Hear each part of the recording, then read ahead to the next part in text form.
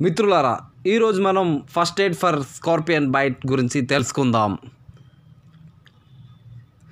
Severe local irritation and burning pain radiating from the site.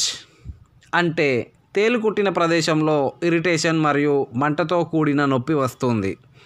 అలాగే తేలు కుట్టినప్పుడు ఎలాంటి symptoms ఉంటాయంటే హెడేక్ గిడ్డినెస్ అంటే తల తిప్పినట్టు అవ్వడం అన్నమాట.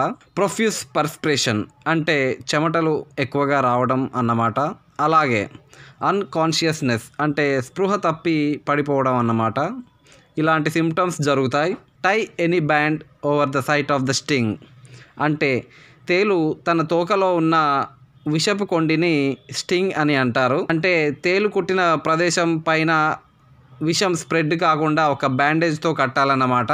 Wash the side with plain water dilute solution of potassium permanganate ammonia or borax తేలుకుట్టిన ప్రదేశంలో చల్లని శుభ్రమైన నీటితో కడిగి అలాగే డైల్యూట్ సొల్యూషన్ అంటే పొటాషియం పర్మాగ్నేట్ అమోనియా ఆర్ బొరాక్స్తో కడగాలన్నమాట. దీని తర్వాత apply ice pack on the side to stop the spread of venom and arrange medical aid చివరిగా తేలు విషయం బాడీ అంతా స్ప్రెడ్ కాకుండా గాయం మీద ఐస్ని ఒక గుడ్డలో పెట్టి రుద్దాలన్నమాట. అనంతరం మెడికల్ ఎయిడ్ కోసం అరేంజ్ చేయాలి.